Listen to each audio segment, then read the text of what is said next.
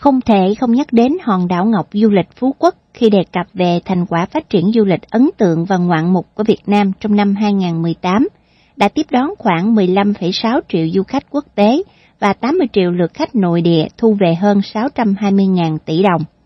Riêng Phú Quốc trong năm 2018, chính quyền huyện Phú Quốc được truyền thông quốc nội vào trung tuần tháng 2 năm 2019 dẫn lời cho biết dự tính đón khoảng 2,5 triệu khách trong nước và quốc tế. Tuy nhiên đã đón trên 4 lượt triệu khách, tăng 36% so với cùng kỳ năm 2017. Chính quyền huyện Phú Quốc còn cho biết, tính đến trung tuần tháng 4 năm 2019, đã thu về gần 13.000 tỷ đồng từ các hoạt động thương mại, du lịch và dịch vụ, tăng gần 32% so với cùng kỳ năm 2018. Mới đây nhất có thể nói Phú Quốc thêm một lần nữa được cộng đồng du lịch toàn cầu chú ý khi thông tin nữ tỷ phú Kabia Reward người Ấn Độ vào trung tuần tháng 7, đã chọn hòn đảo ngọc này để tổ chức đám cưới xa hoa kéo dài 7 ngày đêm với sự tham dự của khoảng 700 khách cùng 125 nghệ sĩ đến từ nhiều quốc gia trên thế giới để biểu diễn trong đám cưới bạc tỷ này. Chia sẻ với truyền thông Việt Nam, cô dâu Kabia Riwa và chú rể Rosansa cho biết họ chọn Phú Quốc bởi vì rất ấn tượng với phong cảnh hoang sơ, đẹp tự nhiên của hòn đảo Ngọc. Huyện đảo Phú Quốc thuộc tỉnh Kiên Giang, một hòn đảo ngoài khơi vùng biển Tây Nam của Việt Nam ở Vịnh Thái Lan, được lãnh đạo Việt Nam mong muốn sẽ biến hòn đảo này trở thành một phiên bản như đảo quốc Singapore khi Thủ tướng Chính phủ ban hành quyết định số 633 vào tháng 5 năm 2010 phê duyệt điều chỉnh quy hoạch chung xây dựng đảo Phú Quốc đến năm 2030. Đảo Phú Quốc có diện tích 567 km vuông và dài 49 km vuông, có 22 hòn đảo lớn nhỏ xung quanh. Do có sự tương đồng với Singapore về vị trí địa lý, nên Phú Quốc được quy hoạch theo định hướng sẽ trở thành một đặc khu kinh tế thương mại với mô hình trở thành một Singapore thứ hai ở khu vực Đông Nam Á. Sau gần một thập niên tiến hành quy hoạch, Phú Quốc gần như thay đổi diện mạo hoàn toàn, từ một hòn đảo thưa thớt dân cư và cách trở với đất liền, bỗng chốc mọc lên nhiều khu resort nghỉ dưỡng sang trọng, đẳng cấp quốc tế, và hiện có hơn 25 điểm du lịch hấp dẫn cùng 12 đường bay quốc tế mà chính quyền địa phương rất hãnh diện khi quảng bá về du lịch Phú Quốc với khẩu hiệu Đảo Ngọc, điểm đến của thiên niên kỷ mới.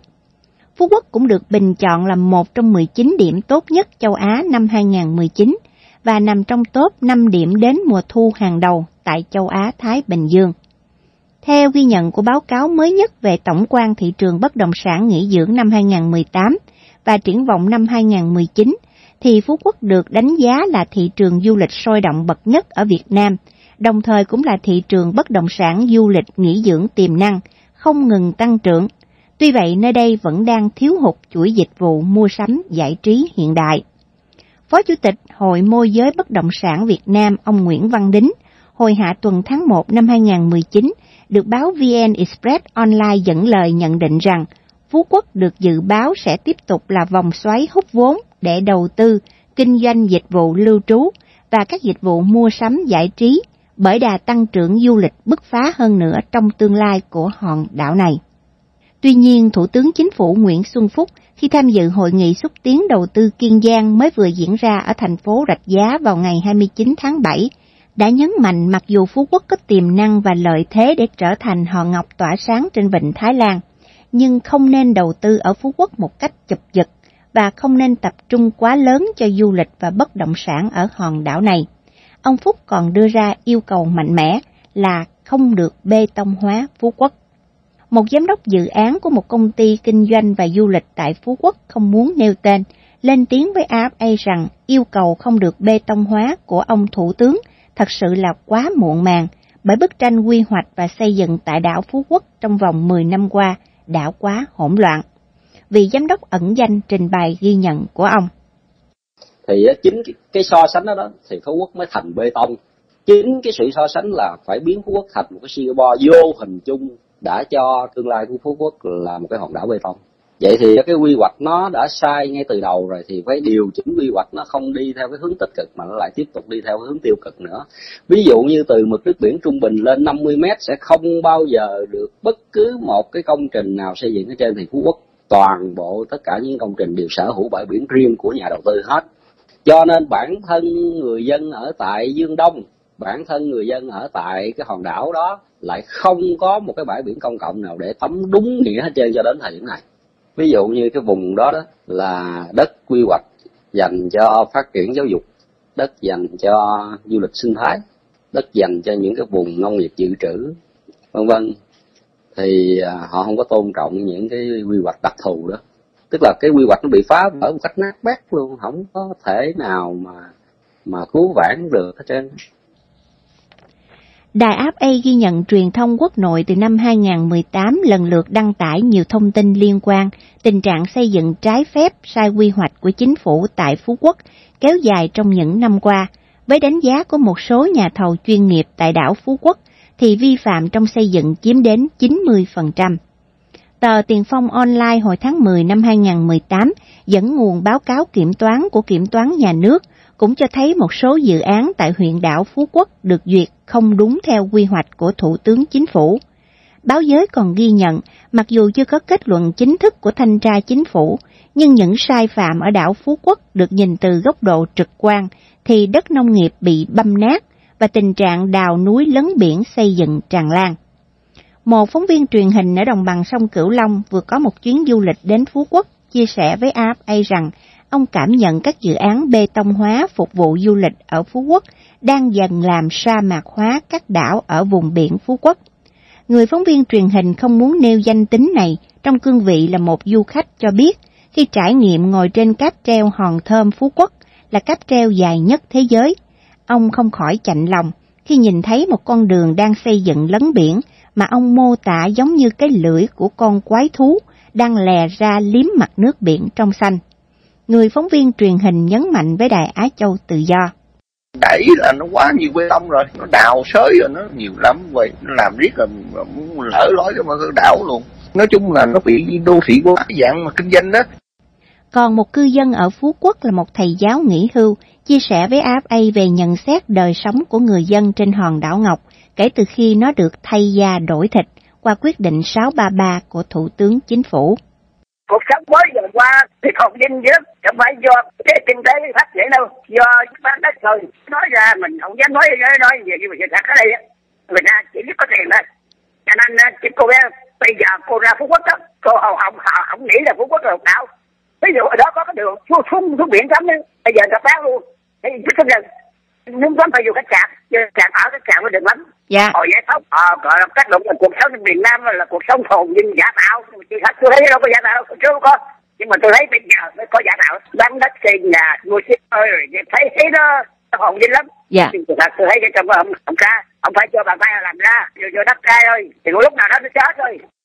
Là một người gắn bó và làm việc từ những ngày đầu ở Phú Quốc khi quyết định 633 của Thủ tướng Chính phủ được ban hành, vị giám đốc dự án của công ty xây dựng và du lịch mà chúng tôi đã trích lời nhận xét ở phần trên, cho biết thêm ghi nhận của ông về nguyên nhân dẫn đến tình trạng Phú Quốc bị bê tông hóa như hiện nay. Quy hoạch một cái hòn đảo, một cái vùng miền thì nó đi liền với vấn đề xây dựng. Tuy nhiên á, thì ờ, xây dựng ở tại Phú Quốc á, thì có thể nói rằng là nó không theo một cái trật tự nào hết trơn á. Nó vì số cái yếu tố sau đây nè. Trước tiên là nói về góc độ yếu tố chính phủ là à, luật của Việt Nam không có nghiêm. Tức là xử lý những cái đại công trình, xử lý những cái hành lang biển. Hay nói chung là căn cứ cái quy hoạch được phê duyệt đó đó mà xử lý đó là xử lý thứ nhất là không có đồng bộ. Cái thứ hai nữa đó là xử lý không có nghiêm về mặt pháp luật. Còn tới nữa đó là cái vai trò trách nhiệm của ủy ban dân tỉnh kiên giang và của ủy ban huyện phú quốc. Từ cái chỗ không nghiêm đó, đó là cái vai trò của chính quyền huyện phú quốc đó, là sử dụng một cái bộ máy chính quyền ở cái cấp huyện mà điều hành một cái khối lượng công việc ở cái tầm đặc khu cho nên là họ theo không có kịp về con người và kể cả về nhận thức và về trình độ nữa cho nên hậu quản không có được. Đó là mình nói về mặt tích cực thôi đó nha. Yeah. Dạ. còn mặt tiêu cực nó khác nữa. Nó làm cho phú quốc hỗn loạn về vấn đề trật tự xây dựng á. Thật sự là do tham nhũng hết. Cũng phải nói rằng là nguyên nhân của tất cả các nguyên nhân là tham nhũng. Nhóm lợi ích là tham nhũng kinh lắm có thể nói là tàn khốc luôn á. Vị giám đốc này khẳng định vấn đề nhóm lợi ích đã và đang làm uổng phí tài nguyên đất, rừng và môi trường sinh thái ở Phú Quốc, và ông cho rằng không thể cứ bê tông hóa Phú Quốc thì nó sẽ trở thành một thiên đường du lịch bằng những dự án gắn liền với lợi ích kinh tế vì tiền mà không vì chỉ số hạnh phúc của người dân. Trả lời câu hỏi của chúng tôi liệu rằng sẽ có dấu hiệu khả quan nào để có thể thay đổi hiện trạng bê tông hóa ở Phú Quốc qua yêu cầu mới nhất của Thủ tướng Nguyễn Xuân Phúc hay không? Người phóng viên truyền hình ẩn danh ở đồng bằng sông Cửu Long nêu lên quan điểm của mình.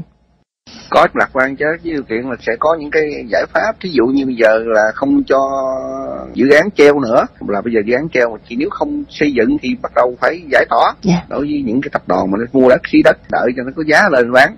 Hai nữa là hạn chế bê tông khai thác phía bắc phía nam của đảo những cái dự án này bây giờ phải dừng lại hết. Thí dụ cái nào đã triển khai rồi thì thôi còn không cấp phép nữa. Hoặc là coi nhìn vô cái bản đồ mình nè chỗ nào quy hoạch. Giờ quy hoạch tính làm gì đây? Làm gì tưởng đâu làm cái chỗ sân vườn thú hay gì cho trẻ em. Đằng này thấy là quy hoạch về sọt ngưng không được khai thác rừng.